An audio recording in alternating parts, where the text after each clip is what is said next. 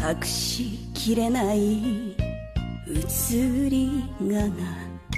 いつしかあなたに染みついた誰かに取られる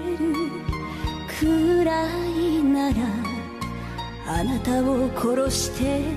いいですか？眠乱れて隠れ宿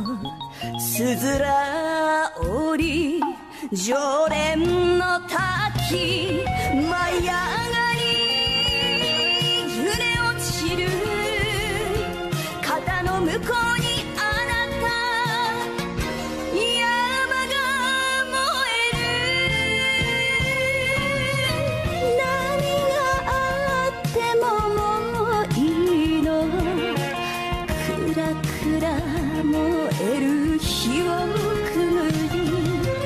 あなたと